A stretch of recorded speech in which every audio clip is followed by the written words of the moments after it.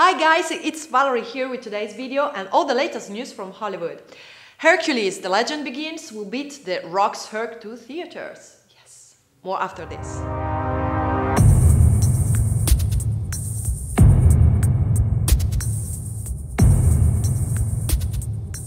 I'm not really very good at this kind of bullshit. Wow. Have a nice trip down to hell, buddy. One, two, three. Oh my God, what happened? Come back here. I shot him by mistake. what are you listening to? Something cool. Oh, yeah. Eh, eh, eh, eh. Just makes me want to be in a dance club. Only guys, though. No girls. What is this? Oh my god, this is so huge.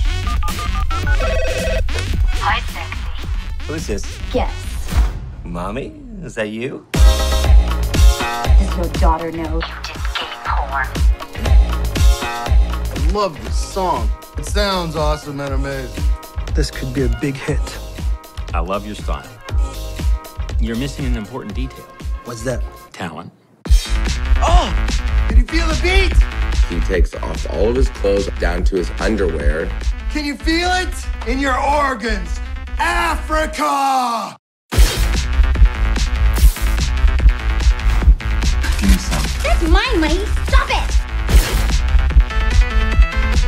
Drive a car here today, ma'am? Yeah? Why? Ah. Don't look at me. It's about the feeling. It's all about the feeling. Your parents know you're a street hooker? No, because I'm not a street hooker. Prostitution is wrong.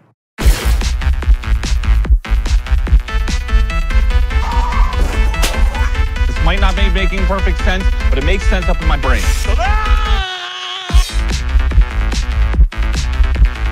What was the music you were listening to? I liked it a lot.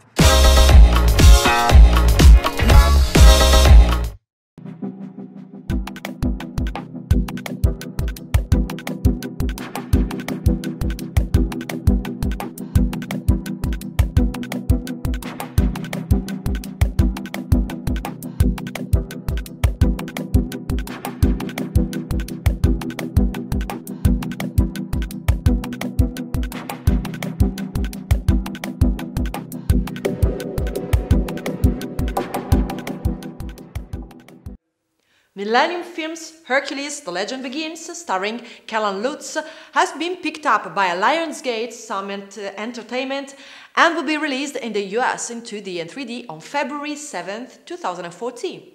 Other films coming out that weekend include The Lego Movie and The Monuments Men. Additionally, this announcement puts Millennium's Herc well ahead of Brett Ratner's Hercules, starring Dwayne Johnson, which doesn't hit theaters until July 25th. Hmm, sneaky. That's all for today. Check out our website filmisnow.com for all your movie news and see you next time. Bye.